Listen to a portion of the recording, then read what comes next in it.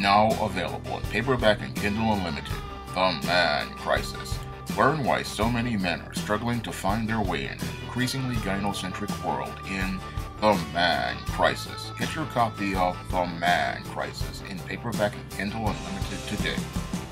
One of my viewers wanted me to talk about the history of mass shooters, and in this third video in the series, I'm going to be talking about two historical mass shooters and their impact on the overall disturbing trend of mass shooting. Now, the first mass shooter I'm going to be talking about is your Howard Unruh, who participated in the Walk of Death on September 6th of 1949. Now, your Howard Unruh is someone who definitely fits the pattern and profile for beta males that I talk about in my book, The Man Crisis. Now, your Howard Unruh grew up in a home where his parents separated and was raised by his single mother and talked about how he was shy and had a hard time dealing with people. And he enlisted in the U.S. military and saw action in World War II, but when he came back home from World War II, he was not able to resume life like other men did after the war. No, he became extremely disconnected and detached. And as he became disconnected and detached, he had a lot of resentment as related to people in the world. And this is where he's, he's, he could not really function as a man. So he had a job for about a month in a metal company as a sheet metal worker and started to enroll in college, but he wound up quitting both as talking about his poor physical condition and decided to go live off his mother. Now, when I look at your Howard Unruh's whole um, mind at the time, it definitely is what beta males do when they have an inferiority complex. A lot of times when beta males have an inferiority complex and they feel that they can't compete with other men, they start to withdraw. And when they start to withdraw, they start to get really bitter about life and they start to get angry because they don't really feel that they can go out here and accomplish what other men can do. And I believe that's what happened with your Howard Unruh.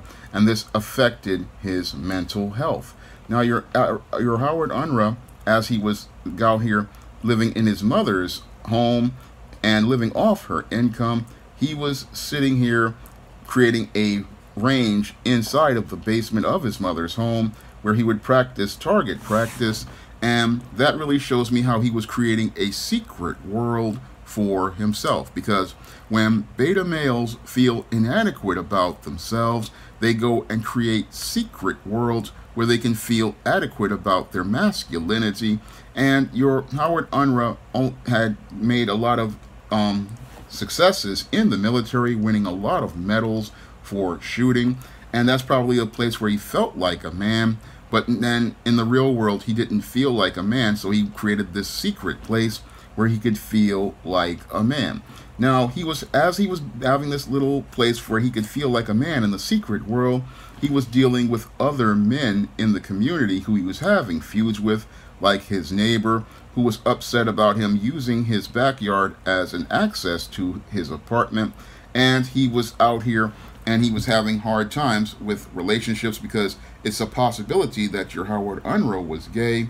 And he was going on the day before the shooting to go meet a man for a date, but he wound up late and the man wound up leaving. And I believe that possibly could have triggered a lot of his anger, not being able to function in the world. And because he couldn't function and make things work in the world, he was simmering and boiling in anger for an extended period of time, but when he found out he could not really make things work in the world as related to this attempt at a relationship, this possibly could have been the thing that wound up making him explode in rage, in addition to a gate he had installed on some property that had been removed. So he all these things of trying to make things work in the world make made probably made this guy lose it and he decided after eating a breakfast with his mother, he then took his gun and started walking down the street and just sh- shooting people. And when he did this incident, did this, he wound up murdering over 13 people, I believe, and he wound up killing these 13 people just because. And he did this again. uh, Some people say it was because he was mentally ill, but I say it because he was a textbook beta male, a ticking time bomb who had been simmering and boiling in anger for an extended period of time. Now, when I look at your Howard Unruh, he definitely fits the pattern and profile for beta males, and he creates the textbook pr- profile for the American mass shooter. Now, your American mass shooter seems to be an individual who either comes from a home that was a single mother household, a divorced household, and does not know how to function as a man because they don't have good male life skills, they don't have good male survival skills, and these men just don't have good male social skills. So these men have a hard time knowing how to navigate and function in life. And because they don't know how to function, this frustrates them, it makes them angry, and it messes with their mental health. And it leads to their mental health deteriorating to the point where they go out here and believe that they have a right to go out here and destroy the lives of others because they cannot build a life of their own. Because that's what it looks like to me for with your Howard Unruh. He could not really make life work for him, and because he could not make life work for him, he wanted to destroy the lives of others. I mean, I look at it, and he, they say his neighbor was a pharmacist, and I believe he was jealous of that man because that man had the success that he wanted because he wanted to be a pharmacist, and he wound up quitting after a month, and he couldn't do it. And then he also wound up quitting his job as well. He just could not make life work for him, so he wanted to destroy all the lives around him because he could not make life work as with his with his with his academics, with his career, or socially as a possible gay man. And this is what made him go out here and pull participate in the walk of death, where he wound up killing 13 people, including several children. Now, when I look at your Howard Unruh, again, he is the arch- archetype for the first mass shooter, and he is one of the um, more disturbing individuals. And it shows us how deep the man crisis goes, and all, all of the elements of the man crisis were there, even as far back as 1949, when we had complete, mostly intact families, but the ones that were not intact created these beta male ticking time bombs, and they go in out here and destroyed the lives of others. And again, it looks like, to, again, your Howard Unruh was the first real mass shooter in America, and he is the model for all of the mass shooters as related to their pattern and profile of extreme behavior. Now, another mass shooter who fits the pattern and profile for beta males was your Carl Robert Brown. Now, your Carl Robert Brown was a teacher who participated in a mass shooting inside of a Florida um, machine shop where he wound up murdering eight people and injuring three more with a 12 gauge pump action shotgun. Now, your Carl Robert Brown was another man who could not really make life work, and I believe he started having serious issues after his first wife wound up passing away, and I believe he never really got over his first wife passing away. And then when he married a second woman, his second wife, Sylvia, she was trying to work with him to get help, but the whole thing is this beta male's mental condition was really deteriorating because he was having really serious issues about his manhood and masculinity. And because he was having serious issues with his manhood and masculinity, he was he was he was becoming again like your Howard Unruh more isolated and detached. And he was becoming more and more disconnected from people. And he had real serious issues. His wife and his daughters wanted him hospitalized as related to his mental health condition but the mental health system would not put him away because they didn't really see that he had serious mental health issues. And this individual, this this um Carl Robert Brown, he had been simmering and boiling for, with anger for many years. I mean, many people on his jobs as a teacher complained about him being a racist and being and making statements that were just very erratic. And people had been saying that there were problems with him, but there wasn't enough to show that there was a serious mental health issue where he was a threat to others or himself. But in actuality, I believe he was simmering and boiling in anger because he could not have the life that he wanted. He could not live in the smooth world he wanted to live in. And as he was simmering and boiling in anger, this was doing serious damage to his mental health. And as his mental health was deteriorating, he was simmering and boiling in this anger and eventually wound up exploding in rage at this machine shop after a $20 bill for repairing a lawnmower engine he wanted to use to um, power his bicycle to make it an electric bike was allegedly poorly done. And he was angry over that repair, and he was also angry because his traveler's check that he had was refused. And this was the incident that triggered all of the anger he had. And he, as he had an argument with the people in the store, he went into he made a threat saying he would come back and kill everyone. And this incident really shows us one of the first incidents of one of these mass shooters who goes and gets upset with a company or has an issue with a company and then looks to go get revenge at that company. So this individual, this um Carl Robert Brown, um he went in he got at an argument with the people at that machine shop and wanted and threatened to kill everyone. And people probably didn't take it seriously, but they didn't understand they were dealing with an extremely sick individual. And he came back to that machine shop with that weapon and he wound up murdering eight people. And it's all because he just did not know how to function as a man. He did not know how to think critically or problem solve. And again, this is all due to his deteriorated mental health condition and he wound up murdering eight people before another person who worked at another metal shop wound up taking his life and running over his body.